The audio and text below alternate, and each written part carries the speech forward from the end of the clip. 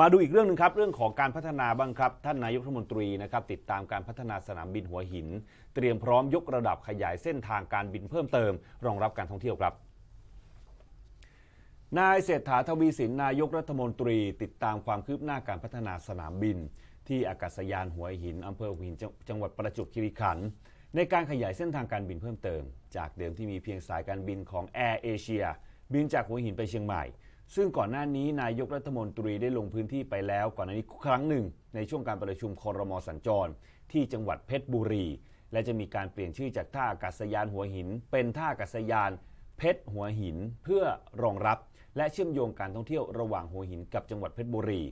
ขณะเดียวกันเสนอให้มีการเพิ่มเที่ยวบิน จากปัจจุบันมีเพียงการบินหัวหินเชียงใหม่ ให้เป็นหาดใหญ่ หัวหิน